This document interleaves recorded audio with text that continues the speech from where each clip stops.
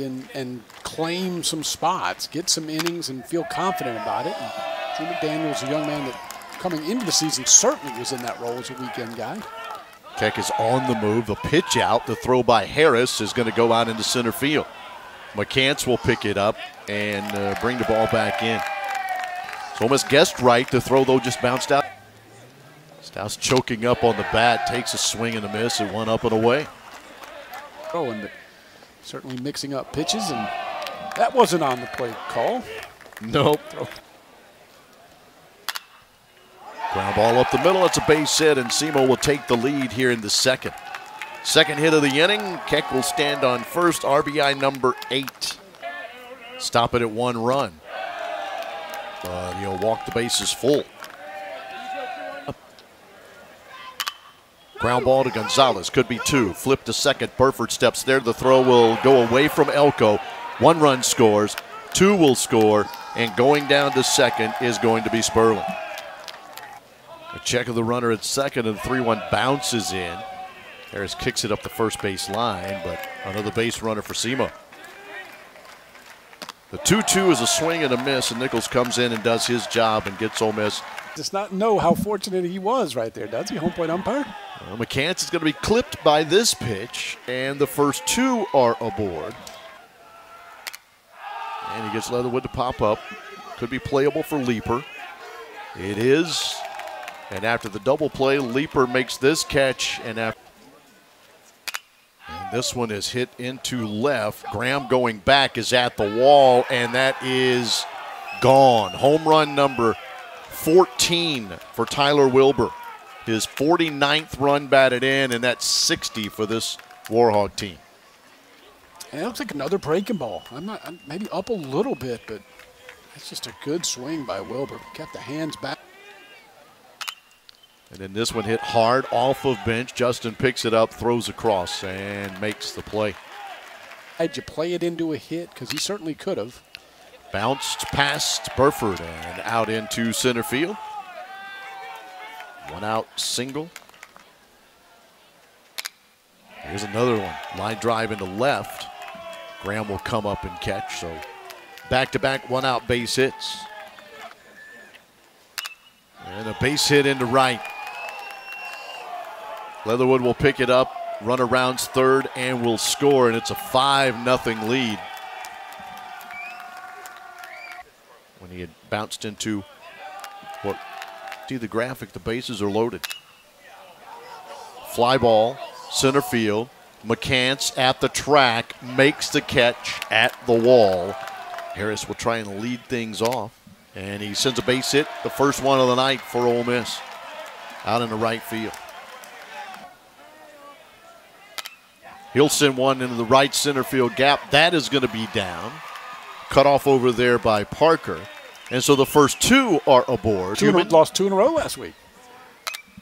Laced, caught by the first baseman, and everybody will go back. Andrews makes the play. Went brings it. This is bounced to third. Leaper throws to second for one, to first. Safe. Elko gets there just in time. And it's a bouncer to the second baseman, Sperling. He'll flip to second. And yeah, high expectations, and certainly still an opportunity there for them to finish the season where they were predicted to finish. Graber first pitch swinging and a fly out. A home run off Nichols and hits a base hit up the middle on Maddox. He's a good hit on the mound. And he sends it down the line, fair ball. That'll roll to the wall. Graham will pick it up as it sticks there. They're going to round and try and score as the throw comes in, and Wilbur will score from first base. Low and a one hopper to Burford.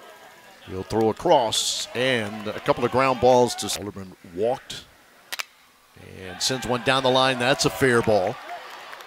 Mason's going to go over as Alderman rounds. The throw's going to come to second. Kemp will slide in with a leadoff double.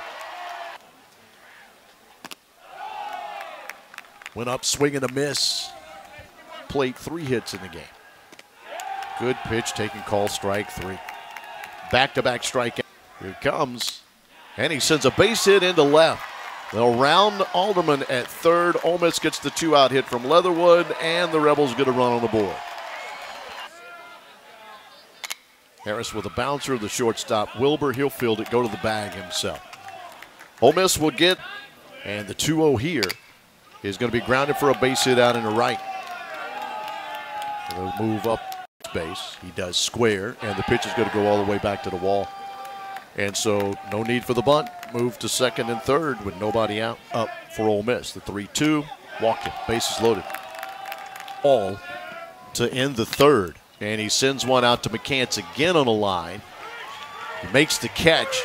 That'll be a sacrifice fly. Runner trying to go to third. The relay and the throw is not in time there as 0-2 is a swing and a miss and a big strikeout. And at 87 miles per hour on the fastball, a little tick hits as well. There's another one in the gap. Wilbur will make this an 8-1 game as McCants cuts it off. They're going to round the runner at third. Gonzalez throw is going to be up the line and sliding in safely and scoring from first to Sperling. And that's three straight hits for Wilbur, a double to drive in two. Right there. Four and one with a couple of saves. And this one is sent back up the middle and a base hit off of it. Bounce to the mound. Throw to second for one. And turning the double play as Gonzalez bounces into the old 1 6 to 3. Go at the plate now with nobody on, and he'll bounce to the shortstop Wilbur. And that will do it. It's an eight run difference here in the sixth and a walk to lead off the sixth inning. Off until now, so he'll get a chance to swing it, and instead gets hit by the pitch. One two swung at one in the dirt, blocked up by Harris to get the out. Kimbrel set brings the one two, and that's grounded hard. Burford bobbles it, throw nowhere, and the error will load the bases. There's only a sacrifice fly to show for it sends another fly ball to center field. McCants going back. That one's at the wall, and McCants is going to catch it on the track. Runners all tag in advance, but that is the third time tonight. We're trying to get that 25th. Uh, swing and a miss, and Kimbrel will leave a couple of guys aboard. Over in the hole, and uh, swing and a miss. Was played a little better defense, the game would have even been closer. And he lobs it the opposite way and finds a base hit in front of Mason. Ground ball, that's down in the right field. There was a base hit, his second of the year, and McCants will go first to third. At the plate, the 0 2 got him. Pulled a string on it first with nobody out. The 3 1. That will miss, and the walk problem continues for West Burton. And this is sent to center field. McCants took a step back, now comes in, gets the fly ball out. 3 1, walked him, and the bases will be loaded. Bounces this one over the mound. That's going to get a run as Gonzalez throws across and gets him, so he does produce his third run batted in of the night. Still somebody slow walking down there to get it. Here's one that's hit to left center and deep. And uh, Malone comes off the bench and hits a solo shot out in the right center. Over the weekend, bounces one that's going to be knocked down by the shortstop Wilbur, but a infield base hit for Van Cleve. On the move, there they go, and the pitch is sent on a line out into right, and coming in and making the catch is going to be Vesky. One two bounced right side. Wood's going to dive, knock it down, gets up, throws, but no chance to get. And he'll take one off the hip. Logan's 2 2, bounced right side. Taiwan Malone will catch it, flip to the pitcher covering, and get the out.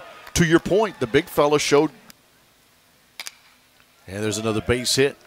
Goes the opposite way. They'll hold the runner at third, so Wilbur will bounces past the catcher, and the runner's going to score to make this a 13 to 2 game. And has a solo home run to his credit. He's got two of them. He's now. got another one. That one is way way back over the bullpen.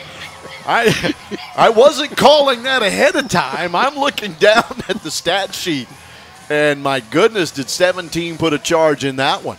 And two of those have come on pinch hit solo home runs.